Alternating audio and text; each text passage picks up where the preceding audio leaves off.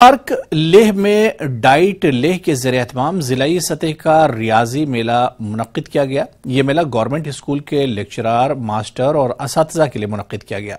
मेले में जिला लेह के तकरीबन पंद्रह हायर सेकेंडरी स्कूल और चौबीस सेकेंडरी स्कूलों ने शिरकत की। इस मौके पर director school education UT Ladakh मेहमान खसूसी थे। उन्होंने टी एल एम मेले में इस की शिरकत पर तारीफ़ की।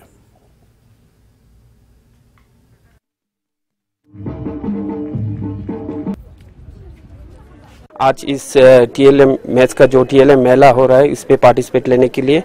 और मैं ये कुछ टी एल एम लाया जो बच्चों ने मोस्टली ये बच्चों ने बनाया।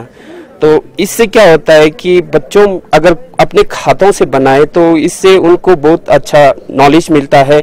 और वो कहते हैं ना लर्निंग बाय डूइंग जो एक बार वो खुद अपने हाथों से बनाते तो वो भूलते नहीं है, सर। इस वजह से ये जो मेला जो जो डाइट ने आयोजित किया है आ, मुझे लगता है ये बहुत अच्छा है। आ, हम टीचर्स लोगों ने पहले भी बताया था कि ट्रेनिंग में इस तरह से मैथ्स साइंस का तो मोस्टली होते रहता है।